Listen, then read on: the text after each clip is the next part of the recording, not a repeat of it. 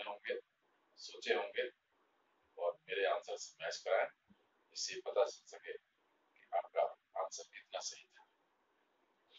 एक और बात, मैं क्वेश्चन और आंसर साथ साथ क्वेश्चन भी पढ़ूँगा और आंसर क्वेश्चन नंबर एक give an example. Give an example of C4 plant having granule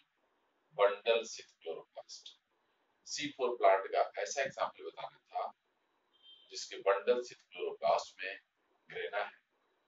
answer is Bermuda grass इसे रिपीट कर रहे हैं। ऐसा C4 प्लांट जिसके बंडल स्थित क्लोरोप्लास्ट में ग्रेना होती है, उसका एक एक्सेप्शनल प्लांट है और उसका आंसर है Bermuda grass Bermuda grass second question red algae में कौन कौन से फोटोसिंथेटिक पिगमेंट्स पाए जाते हैं? Which are the main photosynthetic pigments of red algae red algae के जो फोटोसिंथेटिक पिगमेंट उनमें से एक का नाम है chlorophyll a chlorophyll d R hypocyanin and R phytoerythrin.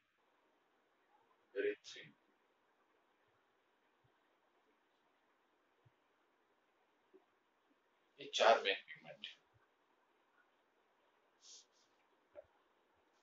chlorophyll a chlorophyll d R hypocyanin और R hypoerythrin are main photosynthetic pigments of red algae due to abundant presence of R-hypoerythrin, the red color of red algae is red.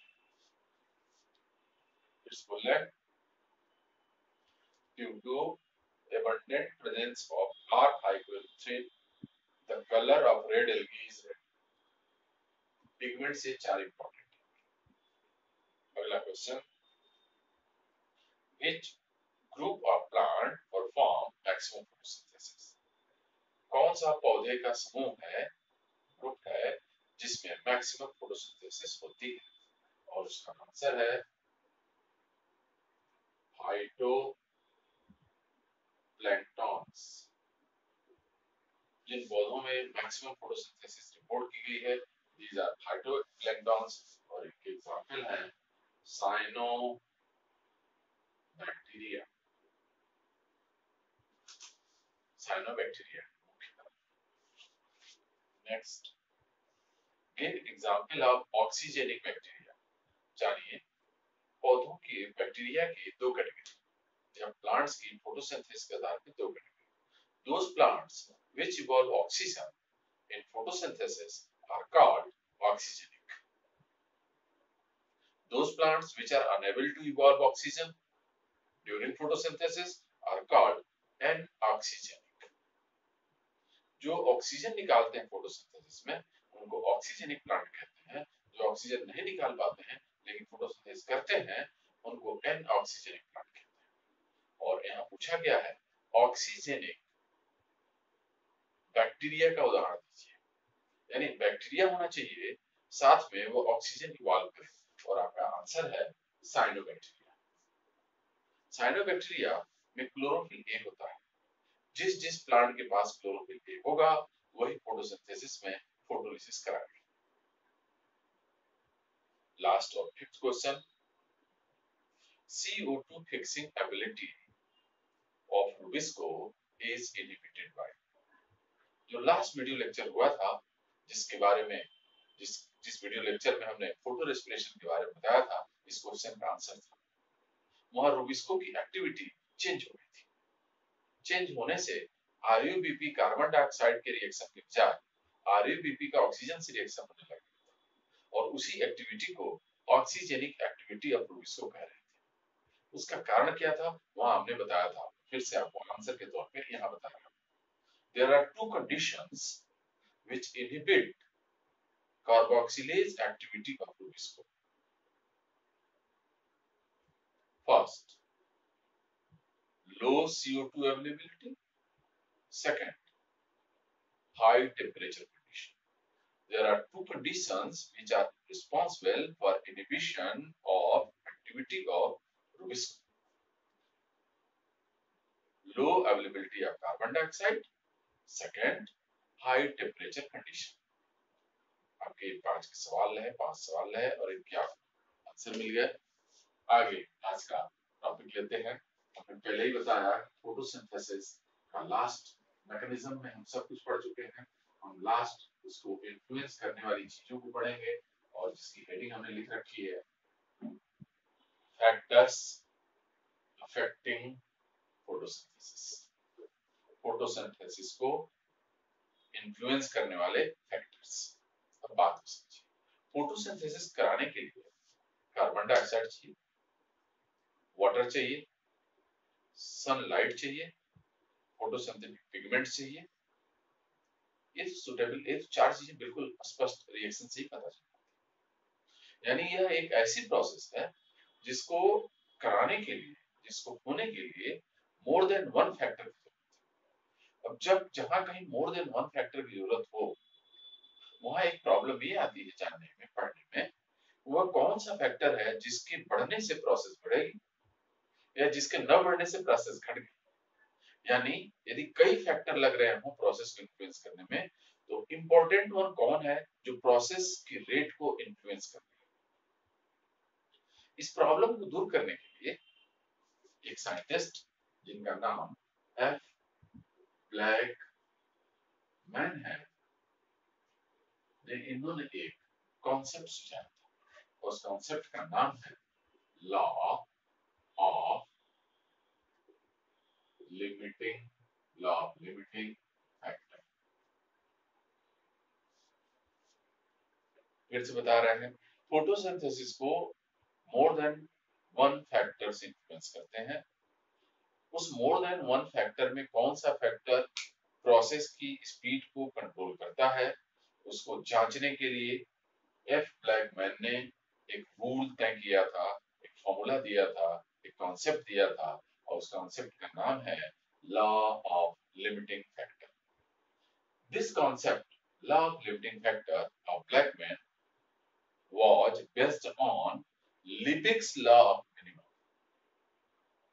बता रहा हूँ Liebig ने एक rule दिया था जिसका नाम है लॉ ऑफ़ मिनिमम उस लॉ ऑफ़ मिनिमम को बेसिस बनाकर एफ़ ब्लैकमैन ने लॉ ऑफ़ लिमिटिंग फैक्टर दिया। अब बात करते हैं कि लॉ ऑफ़ लिमिटिंग फैक्टर कहता क्या है। According to this law according to law of limiting factor, if a process is governed by a number of separate factors, then the pace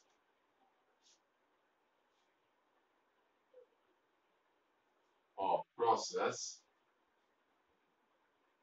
is limited by slowest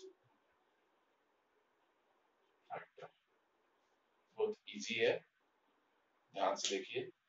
According to law of limiting factor if a process is govern by a number of separate factors then the pace pace means speed the pace of process is limited by slowest factor यदि कोई process many factors influence हो रही हो तो उसका speed उस factor से influence होता है जो अपनी अवेलेबिलिटी में स्लोएस्ट इसका मतलब क्या इसका मतलब ये हुआ कि यदि फोटोसिंथेसिस कराने के water carbon dioxide light chlorophyll सब चाहिए तो इसमें जो सबसे कम होगा that will influence the rate of the process suppose करें वाटर को हमने पर्याप्त मात्रा में दिया।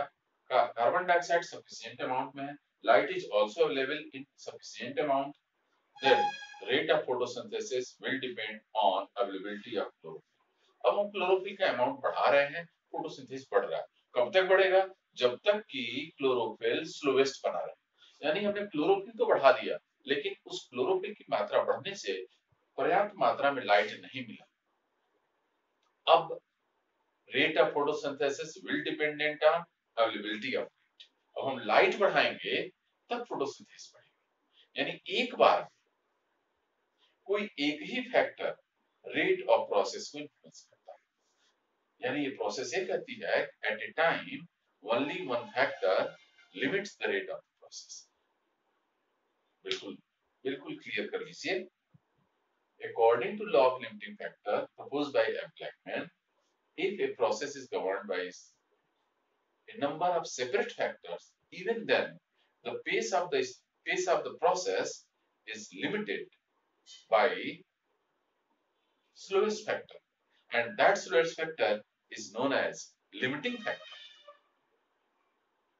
इसका अर्थ निकला at a time only one factor can limit the rate of the process and that that that factor will be called limiting factor. पहचान कैसे होगी लिमिटिंग की? वो सबसे स्लोवेस्ट होगा। यानी जितने भी नेचर में फैक्टर दिए जा रहे हैं, उसमें सबसे धीमा होगा, सबसे कम मात्रा का अब हम एक एक करके फैक्टर्स के बारे में सबसे इंपॉर्टेंट फैक्टर फोटोसिंथेसिस के लिए light without light photosynthesis is impossible. Without light, photosynthesis is impossible.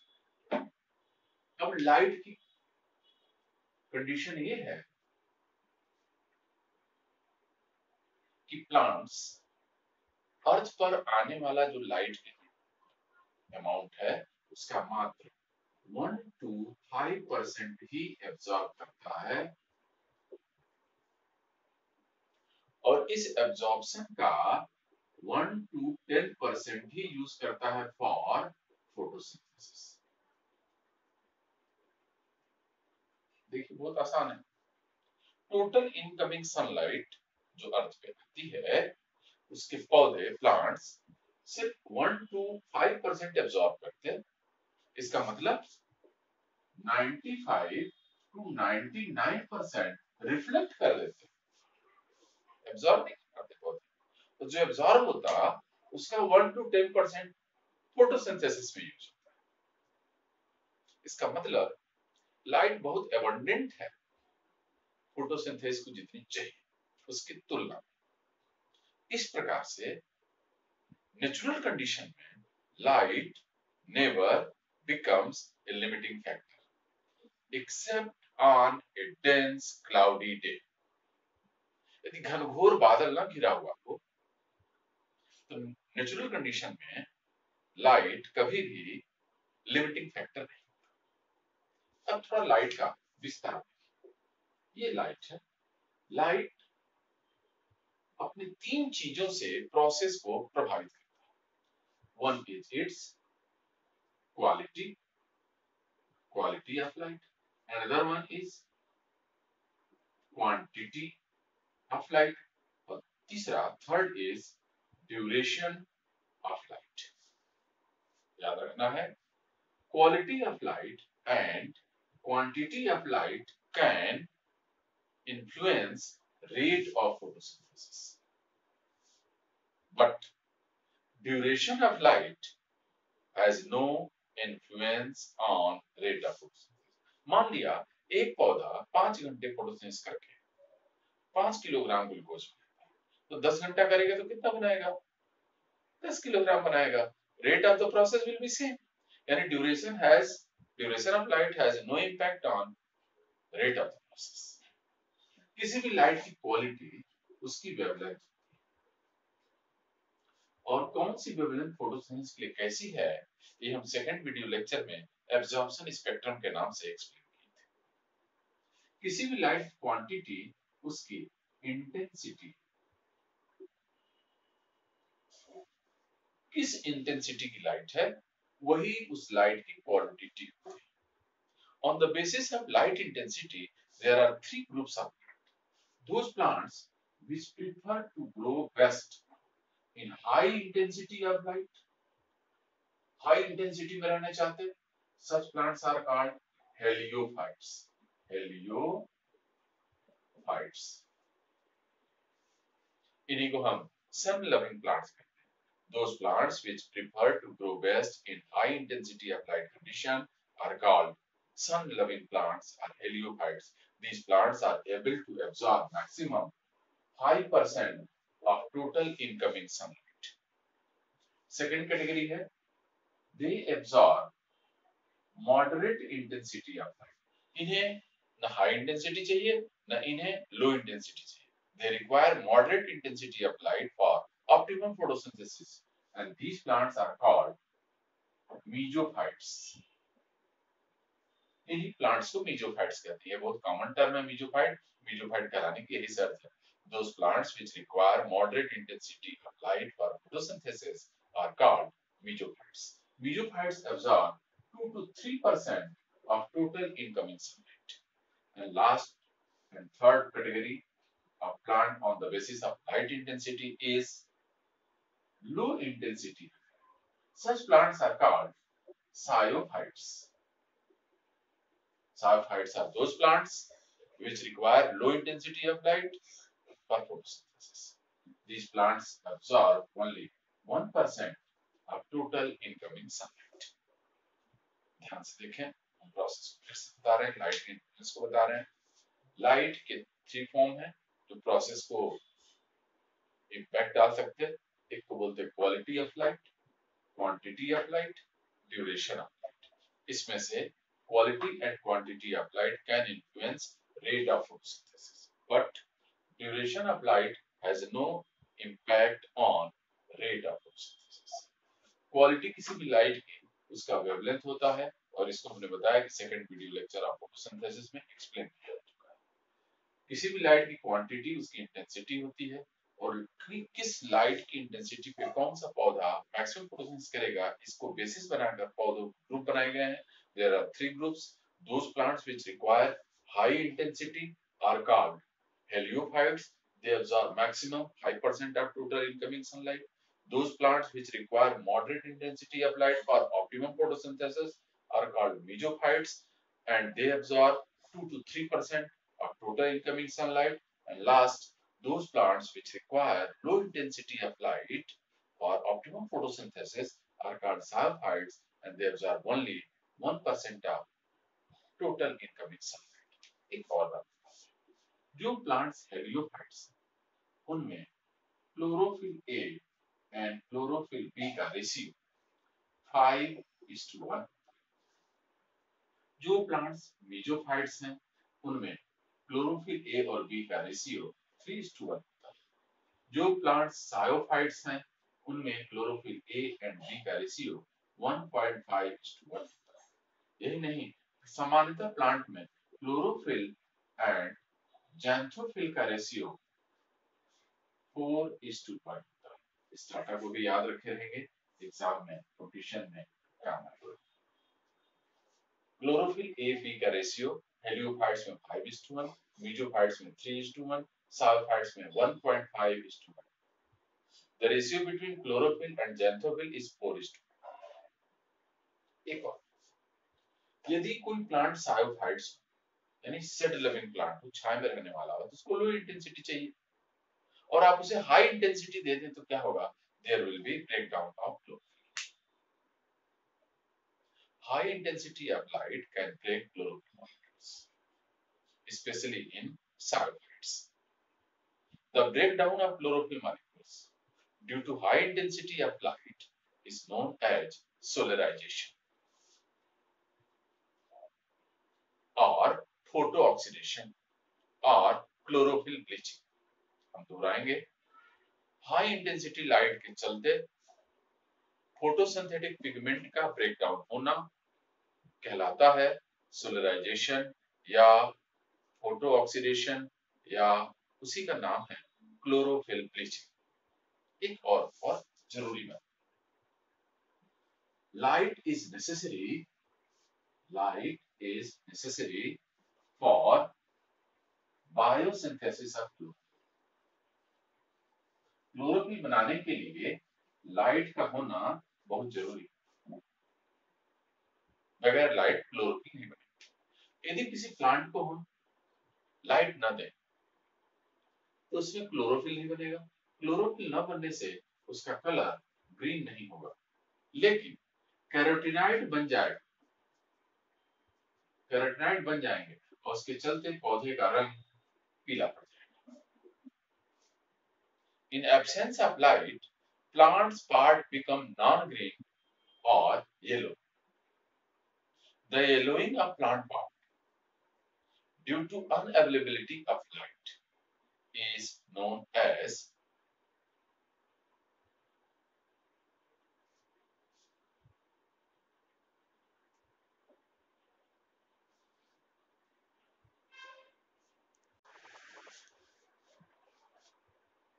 Yellowing a plant part due to unavailability of light is known as etiolation.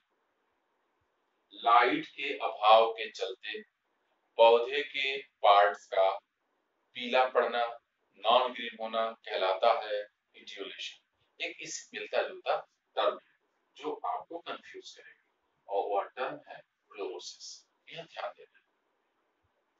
किसी मिनरल की कमी के चलते डिफिशियंसी के चलते डेफिशिएंसी ऑफ़ मिनरल मिनरल की कमी के चलते यदि क्लोरोफिल ना बने और उसकी वजह से पौधा पीला पड़ जाए तो उसको हम क्लोरोसिस कहते हैं। यानी chlorosis is yellowing a plant part due to mineral deficiency etiolation is yellowing a plant part due to unavailability of light अगला फैक्टर है। Next factor is temperature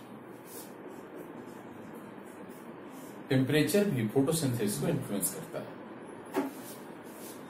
Q10 value is one for light reaction यानी temperature का प्रभाव photosynthesis के light reaction पे नहीं Q10 value is 2 or more for dark reaction. इसका अर्थ है कि डार्क रिएक्शन टेम्परेचर से इन्फ्लुएंस होता है। एक साइंटिस्ट हैं जिनका नाम है मथाई। उन्होंने बताया कि टेम्परेचर 6 डिग्री से 37 डिग्री सेंटीग्रेड बढ़ाने पर रेट ऑफ़ फोटोसिंथेसिस बढ़ती है। टेम्परेचर बढ़ाने से बढ़ती है। बहुत ज़्यादा टेम्परेचर बढ़ जाए तो फोटोसिंथेसिस की रेट घट जाती है due to de denaturation of enzymes enzymes के डीनेचर्ड होने से।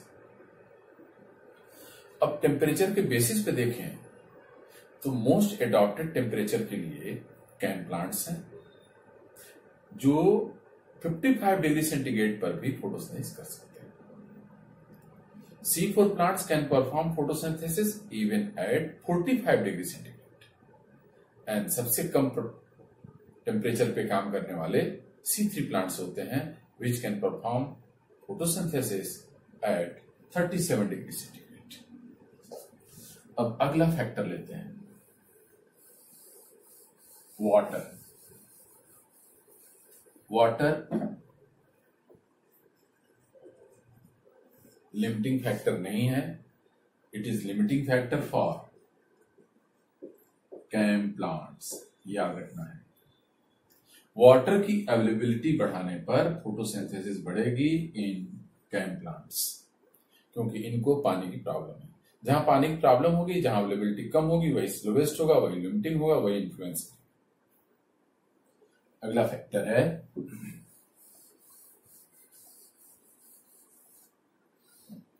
ऑक्सीजन ध्यान रखिए oxygen is not necessary for photosynthesis जब पहली बार फोटोसिंथेसिस हुआ था तो nature reducing nature nature of atmosphere was reducing there was no oxygen oxygen की अवेलेबिलिटी एटमॉस्फेयर में फोटोसिंथेसिस की वजह से, यानी पहली बार जब भी फोटोसिंथेसिस हुआ तो ऑक्सीजन नहीं था। यानी ऑक्सीजन नेसेसरी नहीं अब कहा जा रहा है कि यदि ऑक्सीजन हो तो क्या होगा? Oxygen acts as a competitive inhibitor for CO2 fixation in C3 plant.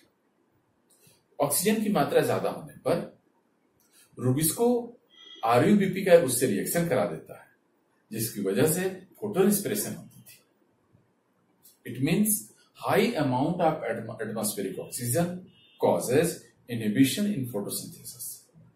The inhibition of photosynthesis due to high amount of oxygen is known as is known as Warburg effect. High amount of atmospheric oxygen के चलते photosynthesis में होने वाली कमी को Warburg effect कहते हैं। अब आपके सामने एक समस्या एक टर्म है फ़ोटो रेस्पिरेशन उसमें भी फोटोसिंथेसिस की रेट रिड्यूस टू हाफ़ होती है ऑक्सीजन वहाँ ज़्यादा होती है और एक टर्म है वारबर्ग इफ़ेक्ट आपसे पूछा जाएगा inhibition of photosynthesis due to high amount of oxygen is तो आपका आंसर है Warburg effect photorespiration is a process which utilize oxygen by green parts of the plant during daytime. The effect of photo respiration is Warburg effect. बहुत ध्यान रखना है photo respiration में पौधे के हरे भाग द्वारा दिन के समय ऑक्सीजन ली जाती है और उसके परिणाम स्वरूप जो फोटोसिंथेसिस में इनिबिशन होता है दैट इज़ वार्बर एक बहुत ही इंपॉर्टेंट फैक्टर है carbon dioxide CO two CO two की एटमॉस्फियर में अवेलेबिलिटी बहुत ही कम है। Point zero three percent or three hundred ppm यह एक प्रकार का नेचुरल लिमिटिंग फैक्टर है।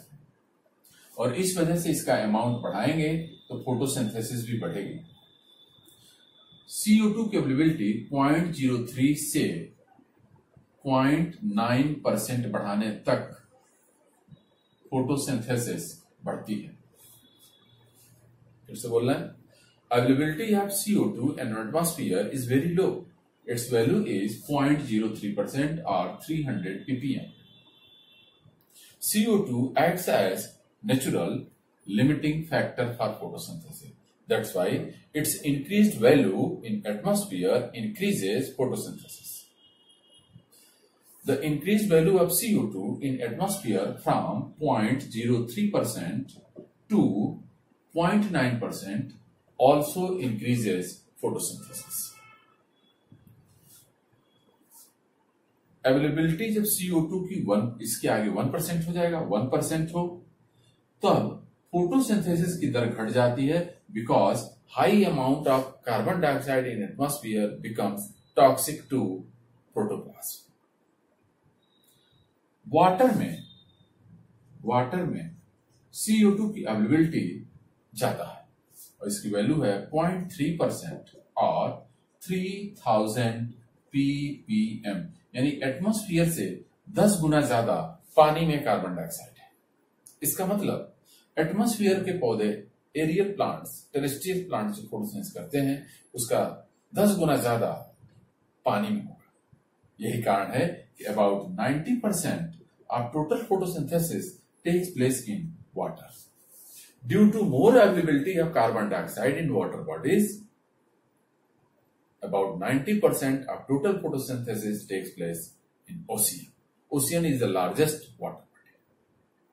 अब हम आपको कुछ ऐसे एक्सपेरिमेंट बता देते हैं, जिनके आधार पर यह तय होता है कि CO2 फोटोसिंथेसिस में नेसेसरी है लाइट नेसेसरी है, या फोटोसिंथेसिस के दौरान ऑक्सीजन का इवोल्यूशन होता है एक एक्सपेरिमेंट है, उसका नाम है Moore's half-leaf experiment. Moore's half-leaf experiment can prove CO2 is necessary for photosynthesis दूसरा एक्सपेरिमेंट है Ganong's light experiment this experiment prove that light is necessary for photosynthesis and तीसरा है Wilmott bubbler experiment Wilmott bubbler experiment this experiment prove that O2 is evolved in photosynthesis. O2 is evolved in photosynthesis. इस प्रकार इस seventh video lecture के माध्यम से हम लोग each and every aspects of photosynthesis complete कर लीजिए आप इन सातों वीडियो लेक्चर के यदि आप देखेंगे और सुनेंगे, इससे नोट्स बना लेंगे। कोई भी ऐसा एग्ज़ाम नहीं जिसमें फोटोसिंथेसिस के सारे सवाल, सारे क्वेश्चंस सॉल्व ना हो जाए। Thank you thank you so much